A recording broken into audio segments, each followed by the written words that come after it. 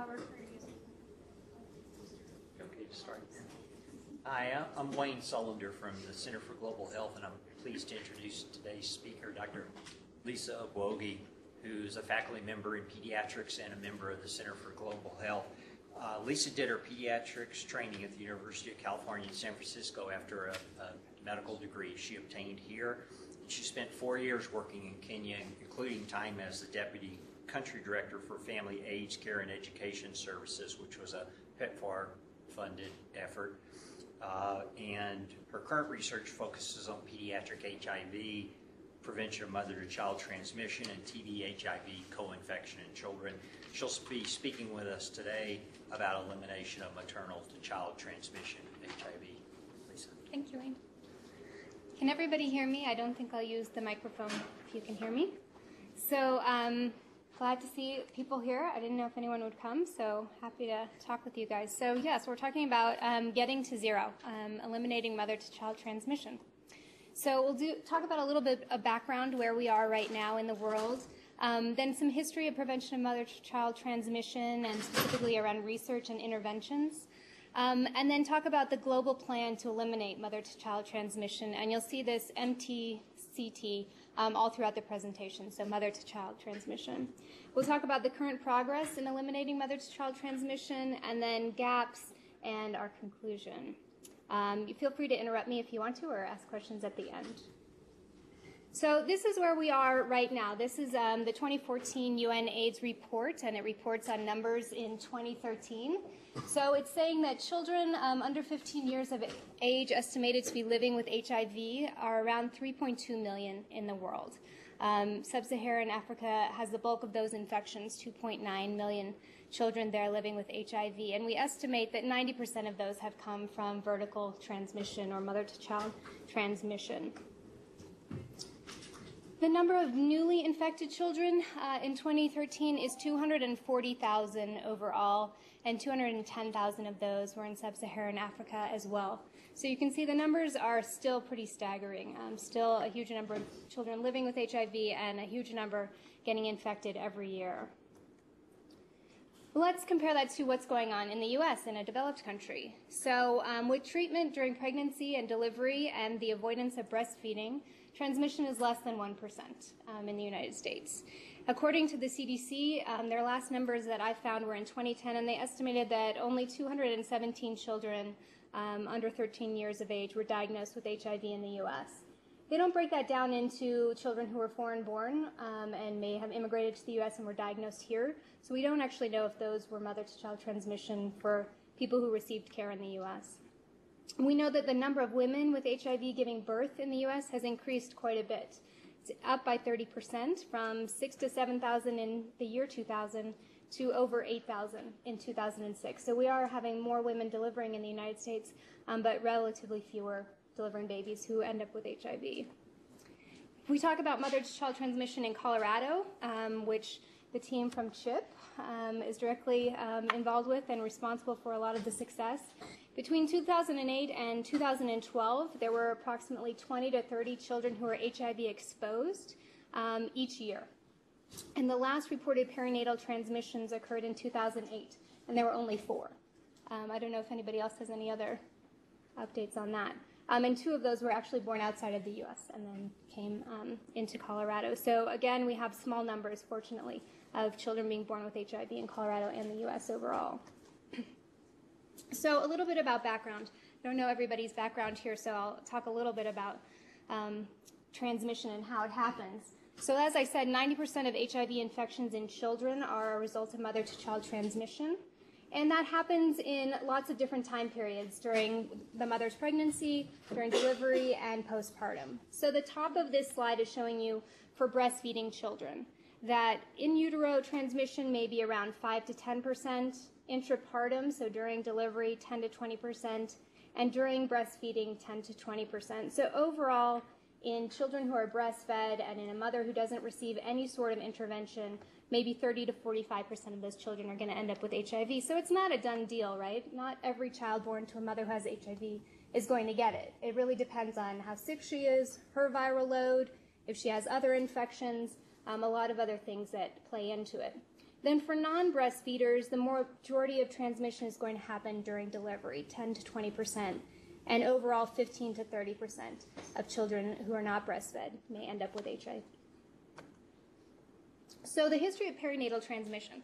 Um, I think we could talk for days about this history, and it's really fascinating and controversial, and it um, includes some ethical dilemmas and some missteps along the way. We'll touch on them a little bit, um, but I think it's a very interesting history, and I want to just talk us through it without doing a ton of studies, um, but just to give you some background.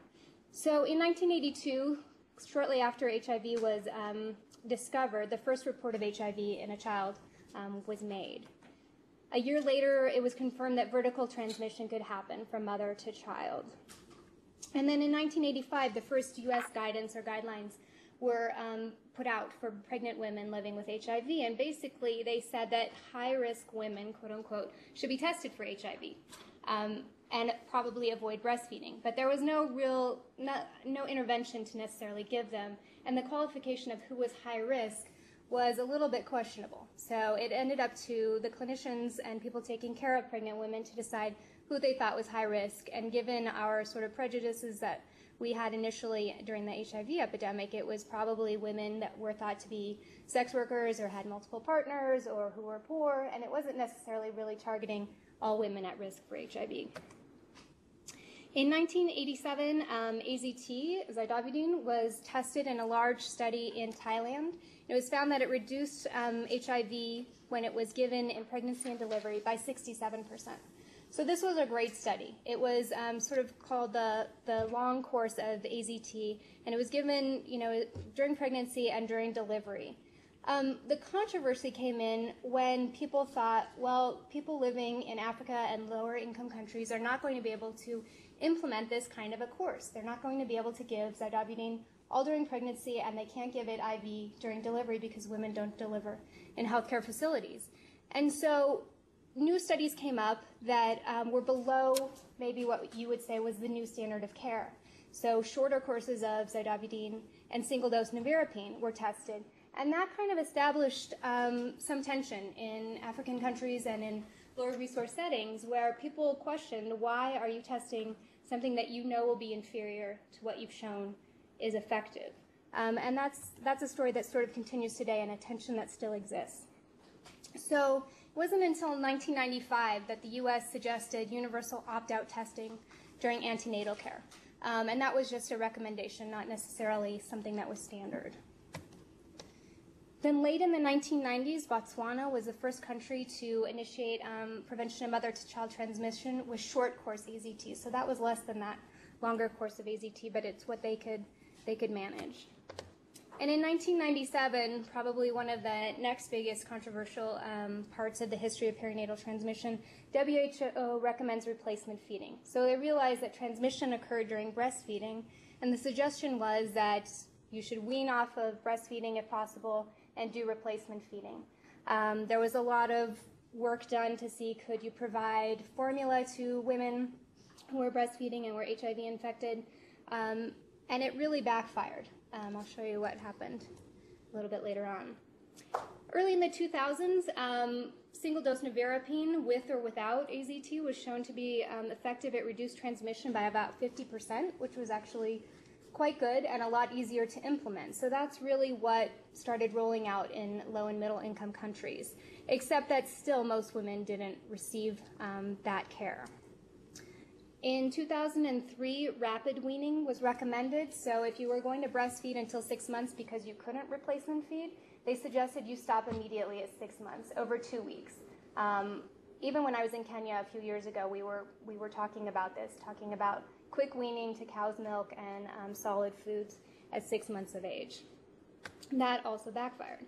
So in 2006, exclusive breastfeeding and gradual weaning with an emphasis on ARV antiretroviral prophylaxis during breastfeeding and pregnancy was actually introduced. And the reason that this um, you know, infant feeding recommendation changed is that there were big studies, and one in particular from Zambia, that showed that even if you didn't end up being HIV infected, if you were HIV exposed and you were rapidly weaned, your risk of death increased several fold, and your risk of mortality from diarrhea and other diseases also increased, um, your chances of being hospitalized. So it really turned out that rapid weaning was a bad idea. Replacement feeding was a horrible idea because it wasn't possible to provide all these women with formula, nor was it possible to provide them with safe water. And so it it got to the point where um, WHO had to back up and say exclusive breastfeeding till six months and then gradual weaning. Um, I used to, when I taught PMTCT in Kenya, I used to talk to healthcare providers about actually calculating the costs of replacement feeding. This was before the guidelines backed up because I never really felt comfortable with them. I would have them calculate, so for you know a canister of formula that you're going to use probably one or two in a week, how much is it going to cost for six months of formula feeding? And that doesn't include getting safe water, having clean spoons or bottles or whatnot to use. And it always was prohibitive. And that was the one thing that um, helped healthcare workers understand it. So in 2010, WHO changed their guidelines um, for PMTCT and starts talking about this option A and option B. So how many people have heard about option A versus option B? a few of us. So I'm going to um, skip to that slide and just explain it a little bit more. So um, the world of HIV just loves abbreviations and um, shortcuts. So option A here at the top um, is describing what should be done um, in countries that couldn't give um, HAART for all women. So it says that if you have a CD4 count less than 350, you should start HAART and continue for life. So that was the qualification for starting HAART. But if you had a CD4 count that was higher than that, you would start on AZT early during um, your pregnancy. Then during labor, you would take a single dose of nevirapine and start also a dose of AZT and lamivudine. And postpartum, you would take seven days of AZT and 3TC.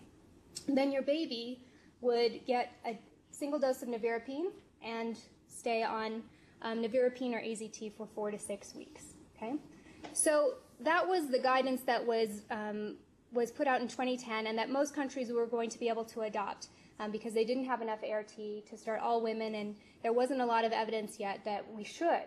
Um, you can see it's a little bit confusing. So there's a lot of different things to do.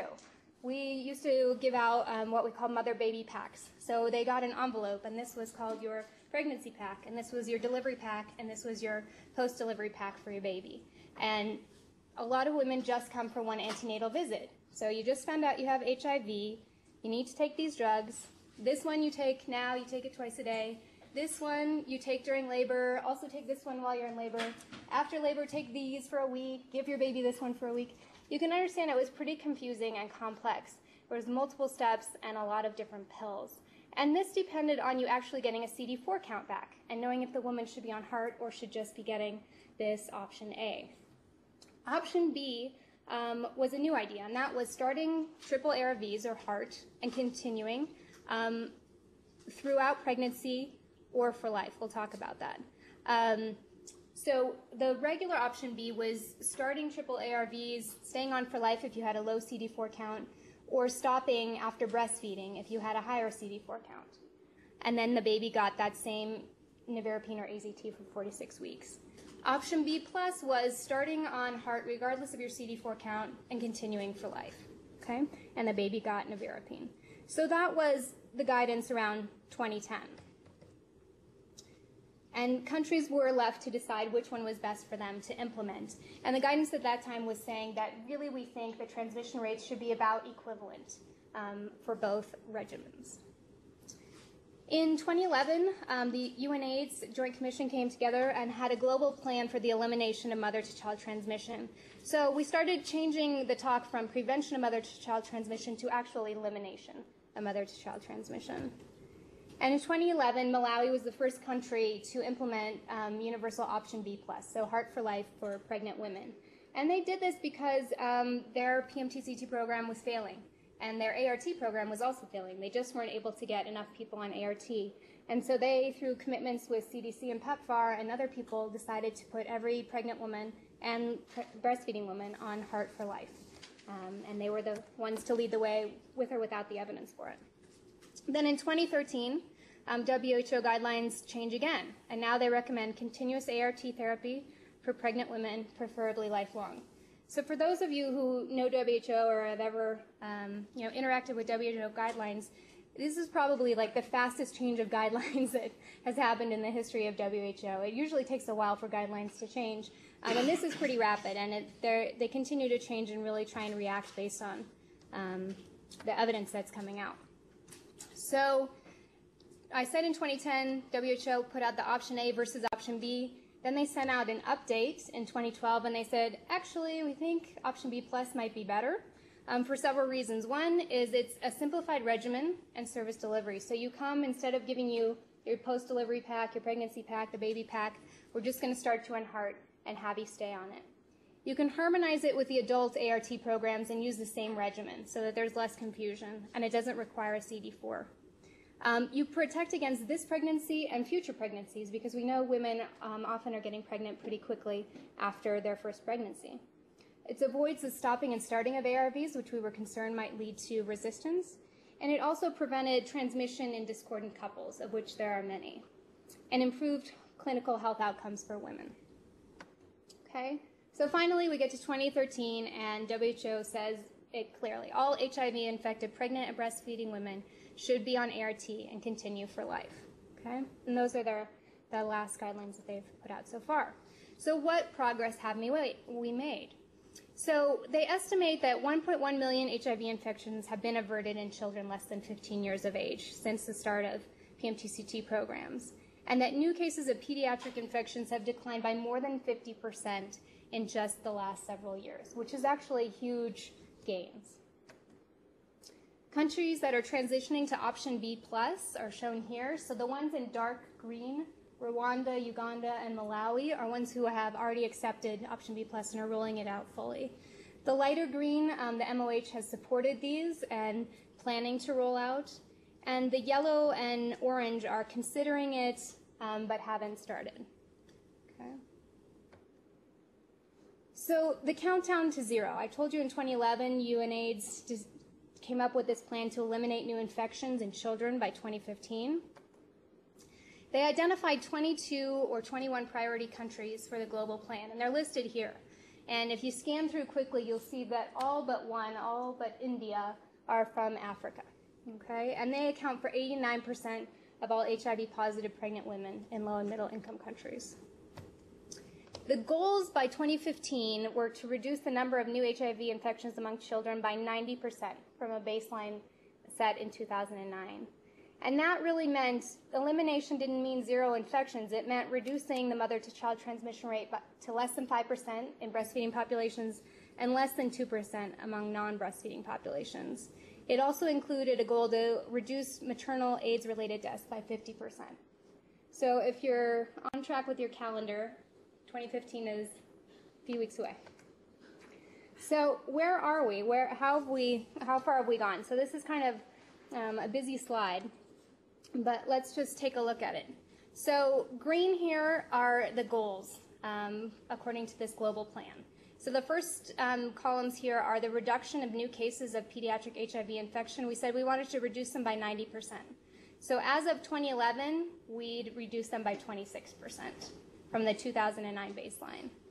The mother to child transmission rate, our baseline was 28% in 2009 and had gone down to 21% in 2011 with a goal of 5%. Maternal ARV coverage actually doubled between 2009 and 2011, so now 60% of women were accessing ARVs, although we wanted 90% by 2015. Um, reduction in maternal deaths, we had reduced them by 21% in 2011, and ART coverage for children who required it uh, was only at 28%, so only one out of three children who needed ARVs, based on old guidelines actually, um, were receiving them in 2011. So I think you can see progress there, but obviously, um, if 2015 is three weeks away, uh, a little bit short of the goals so far. So this shows it to you in a different way. So the number of new child HIV infections in these 21 burden countries, high burden countries, and the projected targets. So a 60% reduction um, since 2001 to 2013. And you can see in this blue dotted line um, where we'll be if we continue at our current pace, not at our goal in 2015, and where we will go if we really reach our goal, which is down to here. Okay? This slide is showing you the treatment gap. So in these 21 priority countries, this is showing the proportion each, um, that each country um, bears in terms of their shortfall in providing women with antiretrovirals. So Nigeria is far and away the bulk here. They 30%.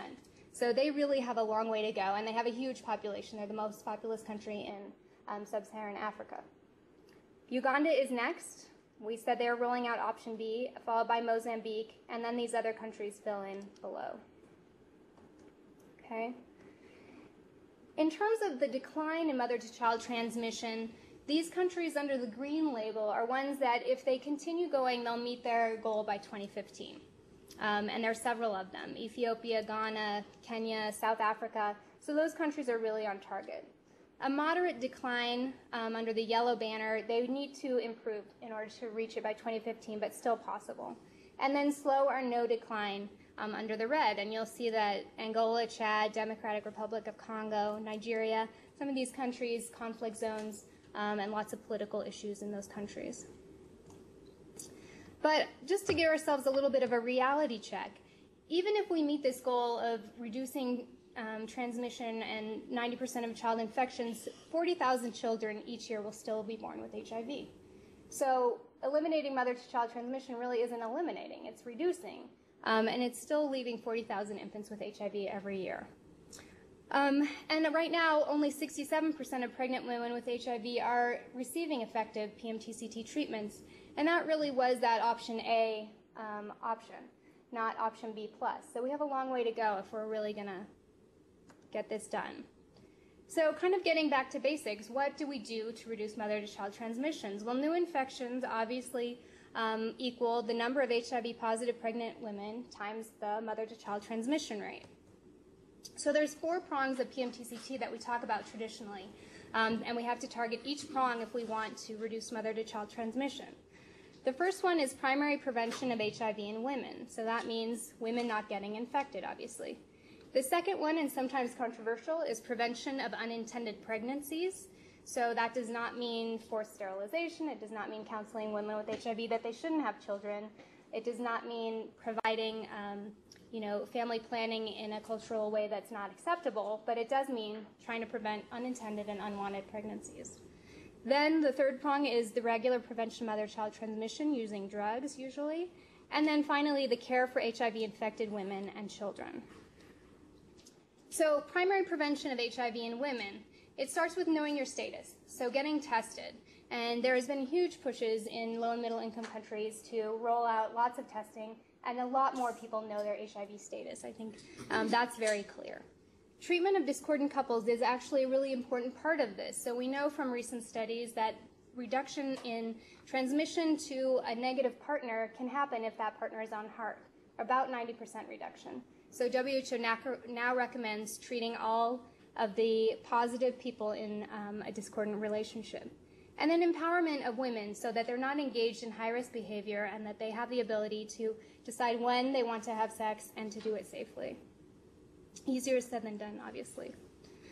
So we're showing only a slight decline in the new number of new HIV infections among young women Um, in these 21 priority countries. It's showing you here until 2011, and it's actually continuing to go down in 2012 and 2013. So that's that is progress, but it's probably not enough to really get to our goal.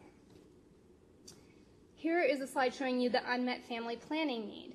So this is according to surveys that were done in these countries, and underneath it shows you the two different years that they compared and how many women said that they would like to have family planning but didn't have access to it or couldn't get it. And it's up, you know, between 15 and 35 percent. And actually, in st- studies and other um, research that I've read, it can be as high as 60% of people saying that they actually don't want another child in the next few years and really would like to have family planning. And so we're not reaching that goal either. Um, there's also, you know, around mother to child transmission, you can provide the drugs, but you have to do several things, and that is test people so they know their status. You have to get them the treatment, and you have to retain them in care. And that is not always easy, no matter what setting you're in. So that brings us to the idea of the care continuum, and this is true for H- HIV care in general, and pediatric care, adult care, and also PMTCT care.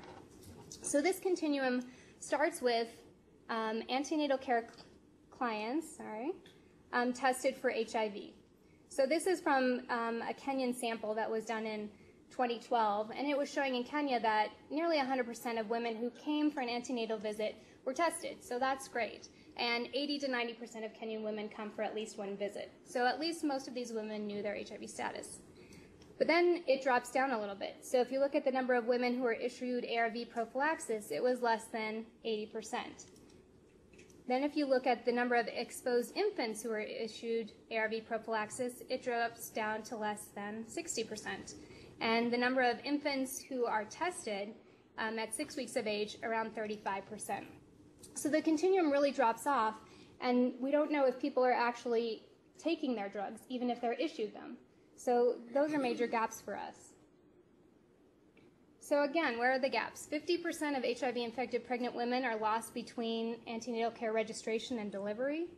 34% of HIV-exposed infants are lost to follow-up by three months, and 45% of infants are lost after HIV testing. So we have huge losses to follow up along the care continuum. Other gaps, um, access. So I talked to you about Nigeria not even having access to um, PMTCT treatment. Acceptability. I mentioned to you when a woman comes for her first antenatal and probably only antenatal visit, finds out she's HIV positive, then is told to take drugs and take them for life, go home and disclose to her partner and her family. And the acceptability of that intervention is really difficult. Um, there's been a lot of drops off drop-offs in Malawi um, in terms of option B plus. So women will take it, and it, they're showing that they take it and they continue through pregnancy and delivery and the first part of breastfeeding. But by the time you get to a year postpartum, there's a lot of attrition of women dropping off there.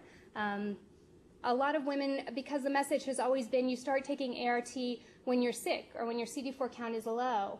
And now we're really changing that message and saying everybody should be on it. You should be on it for your own health. But in Malawi in particular, you know, adults, adult men have a different criteria than a pregnant woman does. It's a confusing message to send to a community and to keep them um, engaged and wanting to take those drugs when they're not pregnant anymore and their child is negative is pretty difficult.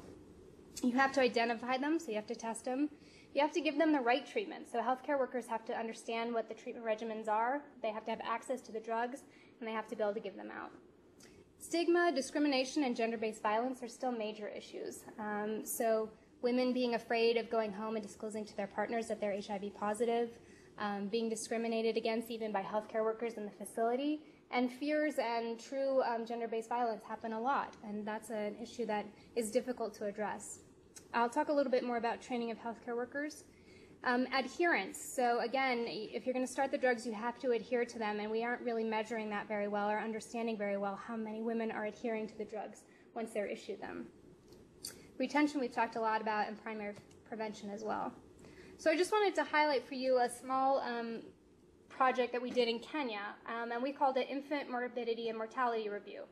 So we actually, in our setting, have a decently low mother-to-child transmission rate. It started around 10%, 8%. So we thought we were doing fairly well, but we're still having transmission. So let's try and find out what it is, what are our gaps, um, by looking at infants who ended up being HIV positive. We had 45 cases we looked at, and infants who ended up being HIV negative, 45 controls. So what we found in terms of maternal factors was that there was a lack of HIV awareness in mothers of infants who ended up being HIV positive. So they didn't know their status. Maybe they missed coming to the ANC clinic. There was a failure to access antiretrovirals. So obviously, if you don't access antiretrovirals or take them, then the chances of your child being positive are a lot higher. And poor maternal adherence. So none of these are surprising things um, that all led to infants being positive. Infant-related factors included late enrollment of infant to follow-up. So remember, we were trying to give infants prophylaxis while the mother was breastfeeding. And if you don't bring the infant, then you're not going to continue taking um, the drugs, and it probably just shows a lack of access and engagement in care overall. Poor adherence to infant prophylaxis, so obviously if you're missing doses, that's going to increase your risk. And mixed infant feeding, so that means introducing solids prior to six months of age, which is just super common. Um, and then additionally, which we thought was interesting, is that mothers of cases were also significantly less likely to report having received clinic-based HIV education and counseling or to report good counseling on medications. So remember, these healthcare workers are doing multiple jobs at one time. They're doing antenatal care. They have to do malaria prophylaxis. They have to give um, infant feeding advice, they have to give delivery advice, they're giving iron pills, they're testing for HIV and syphilis, and then they're also supposed to counsel on HIV and HIV medications. And there are lay counselors, there are all support staff there, but mothers of cases, children who ended up being HIV infected, said they really got poor service. And we thought we were doing a pretty good job. That it was our job to teach health care workers how to do this. So that's just one small you know, group of people that we looked at to sort of see where are our gaps still. And you can imagine how you have to address these um, in a low resource setting. So I talked to you about training healthcare workers, and we went through option A and option B. I just kind of wanted to show you a schematic of the 2010 recommendations from WHO about PMTCT. So imagine that healthcare worker that I just talked about doing this. This is up on the wall in front of them, and they just found out that they have an HIV positive woman. They have to pick the right algorithm. They may not. They probably don't have a CD4 yet. They have to figure out which drugs to give her. They have to find out if they're available, and then they have to try and tell the woman how to take them properly. So it's it was really complex. Skip forward to now, and it's a lot simpler. We're saying mother to child transmission is very preventable. The recommended regimen is tenofovir, lamivudine, and efavirenz, or um, zidovudine, lamivudine, and efavirenz, and it's continuous lifelong HAART for pregnant and breastfeeding women. So it's gotten a lot simpler, I hope, for healthcare workers. They don't need a CD4, they don't need other labs. This is what they start, and that's what women should stay on. So if we're talking about the ever-changing landscape, um, a new study just came out a few days ago, the PROMISE study. And PROMISE study has been going on in seven different countries, um, India and sub-Saharan Africa. Um, and it was looking at this option B plus versus option A, basically. And they came out and they said what a lot of us believed was true but never had proof of, that triple ARVs for pregnant women are more effective in preventing mother to child transmission of HIV during pregnancy than a single drug based regimen. And they enrolled over 3,500 women and showed this. And during their um, interim study monitoring, they stopped that arm short. So all women will be getting triple ARVs during pregnancy. They're continuing the study during breastfeeding, so they're going to continue to compare um, triple ARVs versus single drug regimens during breastfeeding and see which is better. Um, but it looks possible that triple ARVs will be confirmed conclusively to be better. Um, a little bit concerning um, results from the study showing that there were some increased risk of prematurity um, in both arms of the, they had two different regimens um, of women on triple ARVs, and increased um, congenital defects. So if we're recommending a lot of women be on these drugs, um, and there will be a lot of women, especially in sub-Saharan Africa, um, we're worried about what those effects are going to show. And prematurity is a major cause of neonatal mortality, especially in developing countries. So it's something that we have to really be aware of. So I want to leave you with hopeful thoughts about where we're going. Um, and I love this quote from Christopher Reeve that says, Once you choose hope, anything is possible. So, less than 200,000 new pediatric infections in 2013 in those 22 priority countries. And that's the first time that that's happened since the peak of the HIV epidemic, since the 1990s. We haven't seen those few um, new infections in children. So, that's a huge accomplishment. There's decline in new pediatric infections in all of those 21 priority countries. Even though some are fast and some are slow, they're all declining, which is good news. And the proportion of pregnant women um, who have HIV who are getting antiretrovirals has doubled in the last five years. And that's also a huge accomplishment. To nearly 70% of women receiving some sort of antiretrovirals. Now, again, whether they're able to actually take them and continue taking them is a big question. And the drug regimens are becoming a lot more efficacious and a lot simpler um, for women to take. One pill once a day um, is a much better regimen than what I was describing before. So I think there's hope I think that we can get to our goals, but it's going to take a lot more effort, a lot of concentrated, focused work in local situations and understanding what the gaps and barriers are there um, in order to reach this, this goal. So I'm happy to take questions or hear your comments and your thoughts. Um, this is a woman with permission, of course, and her baby um, in Kenya in one of our PMTCT programs, and um, she's happy to hear the good news that she has a negative baby. So thanks very much.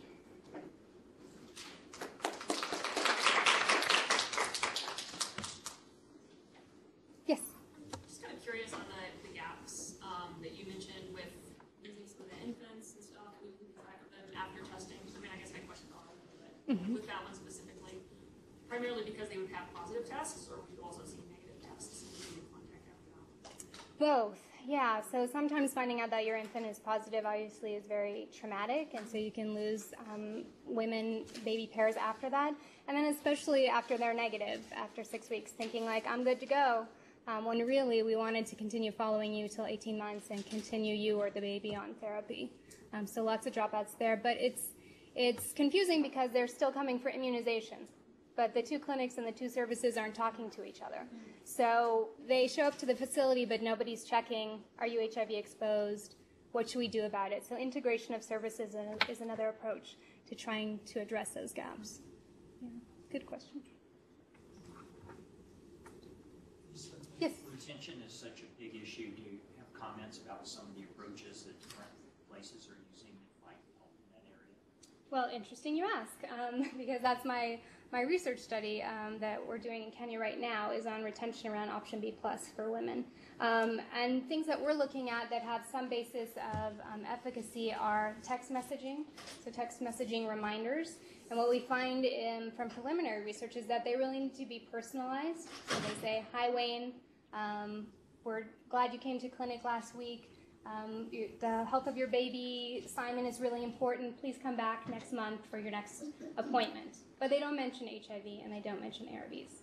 Um, so we're testing that versus community mentor mothers. So mentor mothers are women living with HIV, recent experience, going through PMTCT, who go and do home visits, do counseling, try and bring back those women who get lost um, along the way. Other ways of um, doing retention are just regular phone calls when people default, calling them, trying to get them to come back. Um, support groups are obviously very important. Um, a lot of tracking, a lot of just hard work going door to door and getting women to come back.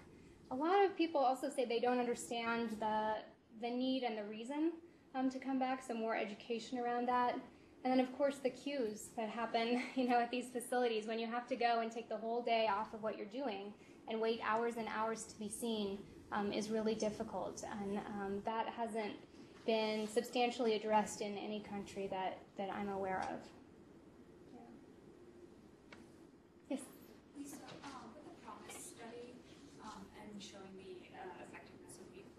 Mm-hmm. Uh, were they also able to show that the effectiveness of B, uh, B plus was more cost effective in saving from new infections versus the cheaper uh, option A? Really good question. So, um, other studies have done that through modeling, and they think because of the saved um, lives, maternal mortality, maternal morbidity, and infant morbidity and mortality, that option B plus will be much more cost effective. Uh, they didn't put anything out on that in terms of PROMISE yet. I'm sure that they'll be looking at that.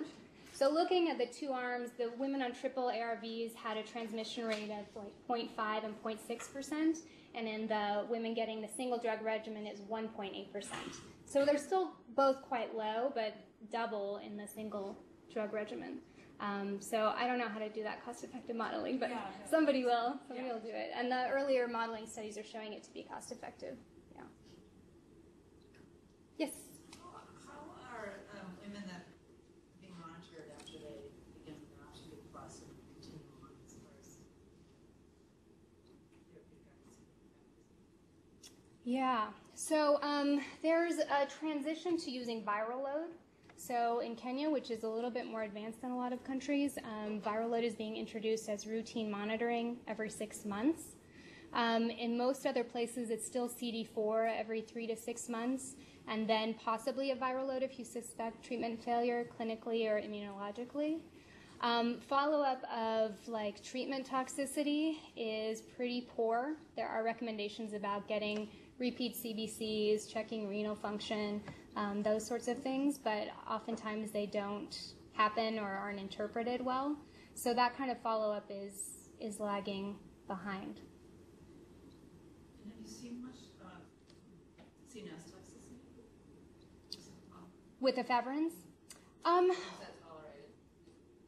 You know, it's tolerated pretty well, and it's um, it's really cultural. People come in describing it in different ways than um, what we may be used to hearing people say here. People do talk about bad dreams, um, talking to people who aren't there. Um, you can see frank psychosis. We've definitely seen that, um, but we use it a lot more liberally and freely than um, is used here for sure. Basically, because it's cheap and effective. Yeah. Okay. Any other questions? Concerns? curious about uh, so documentation. Um, I know some countries that it's families responsible to carry around their folder, parents' folders. I'm curious about Kenya, Yeah. how that plays out. I guess that's where the along with all the documentations. Yeah. So um, in Kenya, there's um, patient care files. It's called the Blue Card. It's a two pager, um, and it's basically a flow sheet with like 12 visits on it. So it's minimal documentation. It's kept at the facility. Um, so you document things like CD4 viral load, family planning uptake. It's a lot of like crazy coding. You have to understand what FPCT XYZ means um, to really interpret it. But that's what Kenya has moved towards, along with a lot of paper registers that are super time consuming to fill. And that's what a lot of other countries also use is those paper registers to kind of document how many people enrolled today, how many people are taking drugs, um, but not super efficient. Um, our program in Kenya uses an electronic medical record system, but we fill out that paperwork, um, the provider fills it out, and then we enter it electronically. It's not a point of care system.